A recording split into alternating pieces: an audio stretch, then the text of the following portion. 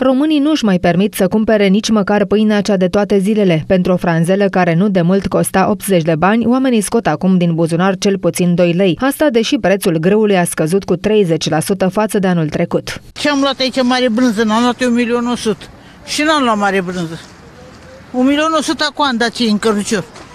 Foarte toate ale scumpe, în special pâinea e foarte, foarte scumpă. Înainte cu două pe două pâini de alea cu secară, uh, 8 lei, luam un sac naibii când era 50 de bani. Prețul pâinii.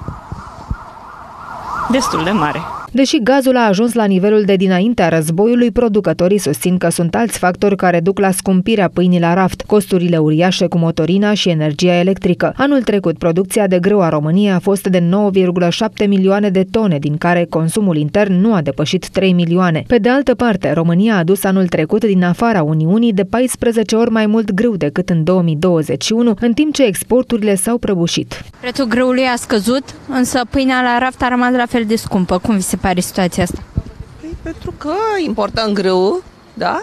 Deși noi avem recoltă, nu? Ceea ce nu e normal.